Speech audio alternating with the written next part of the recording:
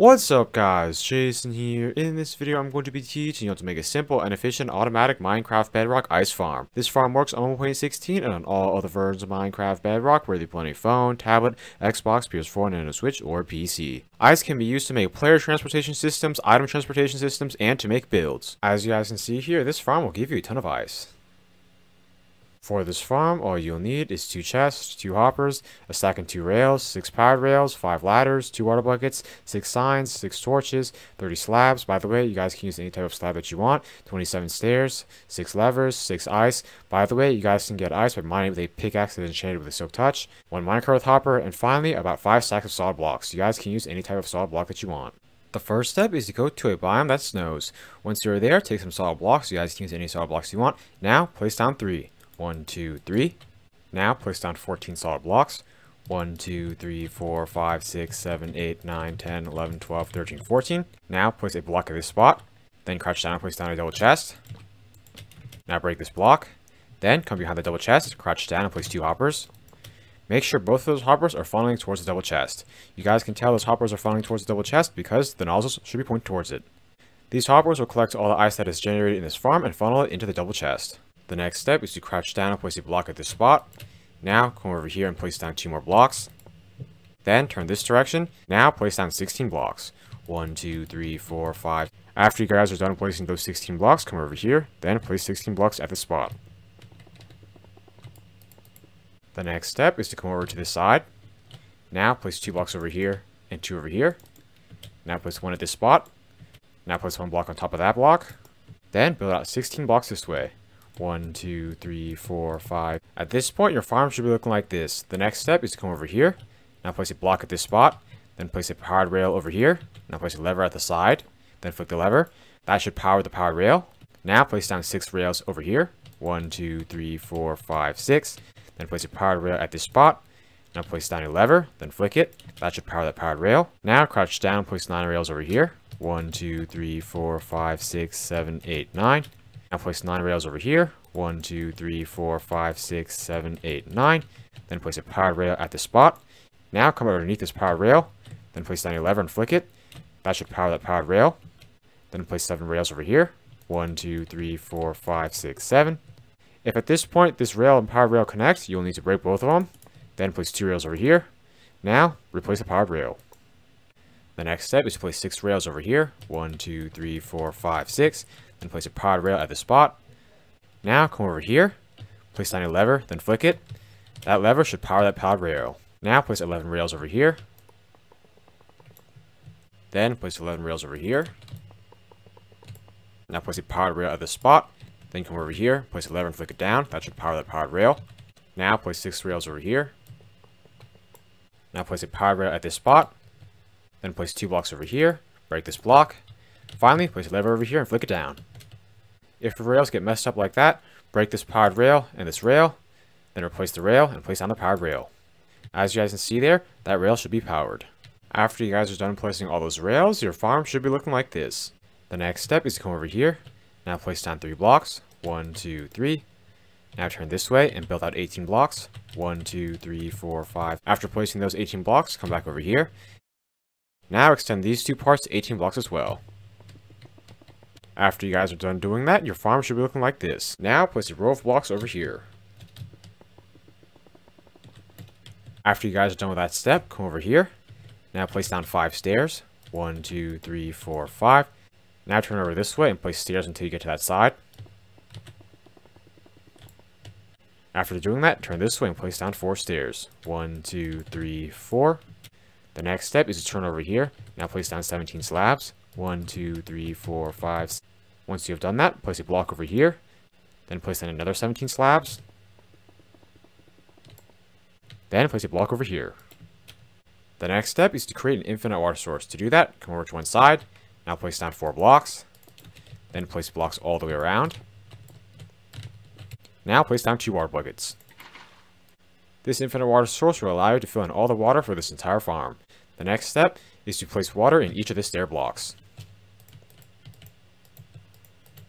By the way, the reason why we're placing water in the stair blocks is because water source blocks and stairs will never freeze. After placing water in each of the stair blocks, place water in each of these row of slabs. By the way, the reason why we place water in the slabs is because water source blocks will never freeze when they're in slabs. By having water source blocks around the edges of this farm, we will ensure that more ice can still be generated after the ice over here in the middle is harvested. By the way, if your infinite water source freezes while you're filling in the water, all you have to do is break the ice, then it will form again.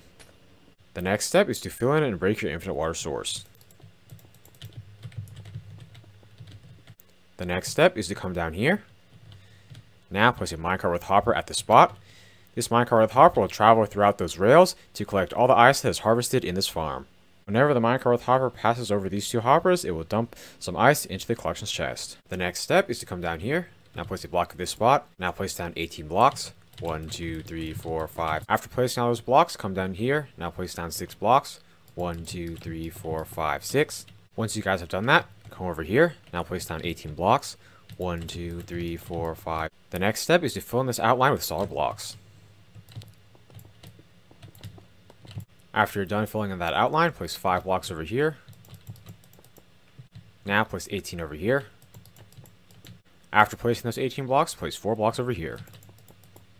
The next step is to come over here. Now place down 15 blocks. 1, 2, 3, 4, 5. Then place 15 blocks over here. 1, 2, 3, 4, 5. This will be the outline for the AFK pool of this farm. The next step is to come over here. Now count out 2 blocks. 1, 2. Then break this block and replace with ice. Now place a sign right over here. Now count out 6 blocks. 1, 2, 3, 4, 5, 6. Then break this block and replace it with ice. Then place down a sign at the spot. Now count out six blocks. One, two, three, four, five, six. Now break this block and replace it with ice. Then place a sign over here. After placing all those ice blocks, come over to one of them. Now count out three blocks this way. One, two, three. Then break this block and replace it with ice. Now place a sign over here. Then come over to the next ice block and do the same thing. So count out three blocks. One, two, three. Then break this block and replace it with ice. Now place a sign. Finally, come over to this last ice block, count out three blocks. One, two, three. Break this block and replace it with ice. Then place a sign over here. After you guys are done placing all those signs and ice blocks in those spots, come over here. Now place water at this spot. Then place a torch over here. By placing a torch next to that water, we will be able to prevent that water from ever freezing. Now come over here and place down water. Then once again place a torch to the side. Now come over here and place down water. Then place a torch at this spot. Then come over here and place down water, and place a torch at this spot. Then come over here, place down water, and a torch at this spot. Finally, come over here, place water, and a torch at this spot. Once you guys are done placing all that water, the water should all flow just like that. By the way, the reason why we place those ice blocks is so we'll be able to continuously go around the AFK pool. The reason why we place all those signs is so we can ensure the water will flow correctly. The final step is to come over here. Now place three blocks at this spot. One, two, three. Then place down five ladders. Those ladders will allow you to easily access this farm. I am now going to do a quick fly around so you guys can check and make sure I've made this farm correctly. Over here, you guys should have this AFK pool. Make sure all your water flows in the correct directions. Over there, you guys should have your ice generation area. Finally, down here, you guys should have your minecart and collection system. I am now going to show you all how to use this farm. To use it, first hold a pickaxe that is enchanted with Silk Touch. Now enter the AFK pool. Then aim your crosshair at this level. By the way, if you guys are Minecraft Pocket Edition, you guys can turn on the crosshair by turning on split controls. Now, hold down whatever button it is on your device to break blocks. When you guys go to this front part, you will automatically break all the blocks. It's okay if you guys appear to be missing some because you'll keep breaking them once you come back around. As you guys can see here, when the water pool pushes you back around, you will break the remaining blocks. After you guys mine ice blocks, more ice blocks will regenerate back. The best part about this farm is that all you have to do is hold down the button it is on your device to break blocks. You will automatically be pushed around and will never have to aim. All the drops are collected by the Minecart Hopper and then funneled into the collections chest.